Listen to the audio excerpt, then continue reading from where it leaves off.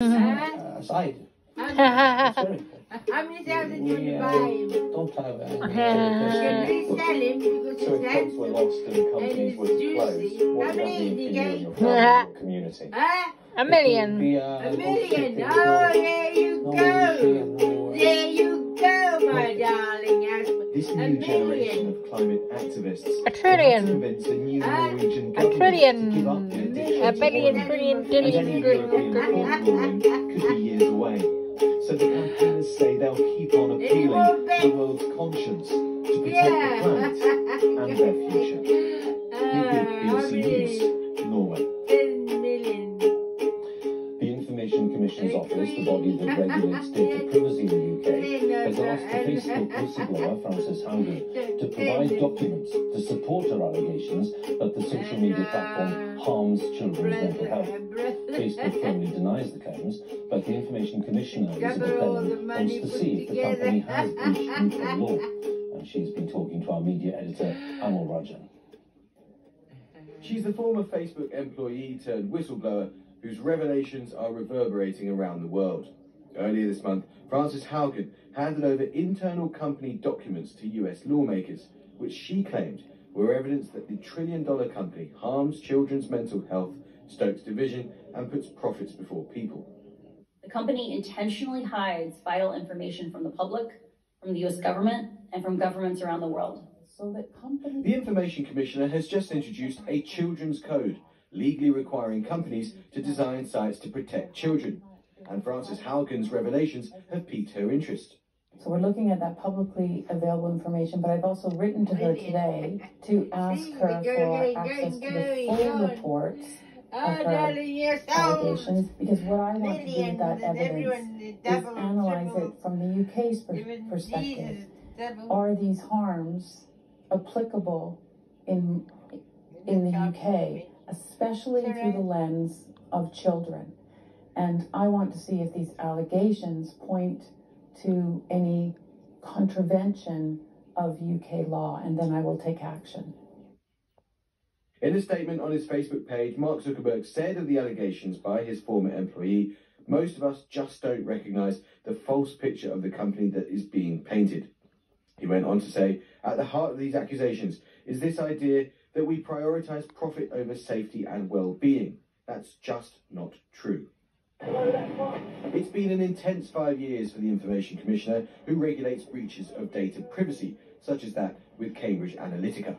She steps down in a few weeks, but has big concerns about the mismatch between her budget and those of the tech giants. She's also worried about the government's plans to reform her office.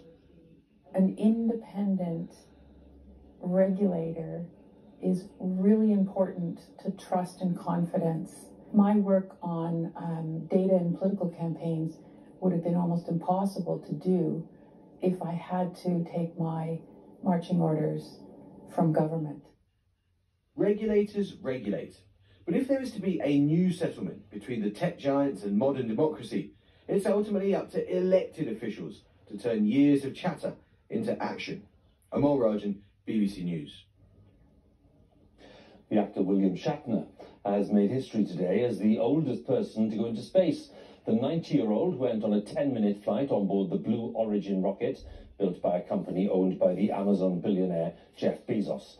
Uh, the man familiar to millions as Captain Kirk of Star Trek returned safely to Earth, describing his trip as a most profound experience. From Texas, our correspondent Sophie Long sent this report. We buy so much, you As the should sun give us a rose over one of the most desolate parts of the Vicky? Wild Yeah. West, William Shatner made Ah, his way yeah. to the New Shepard fully automated spacecraft.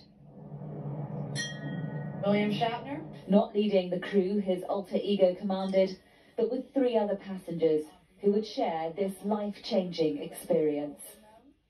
Two, one. They, they go up and down. Yeah. They must a nice uh, ride everybody then. Huh? Yeah.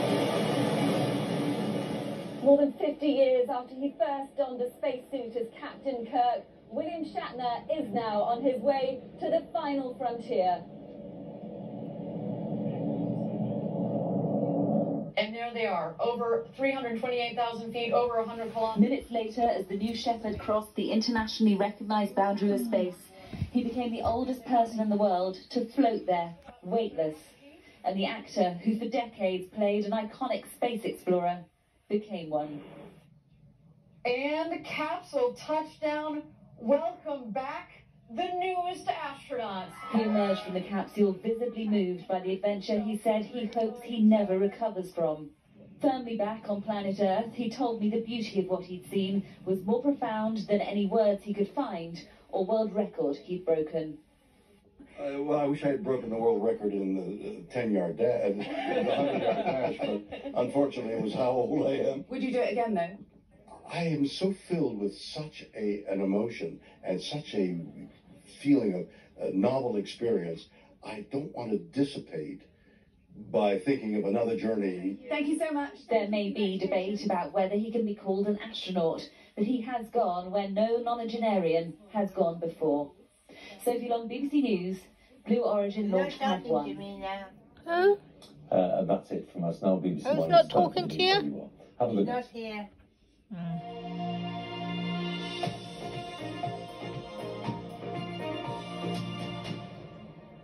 Good evening. Refuse workers whose strike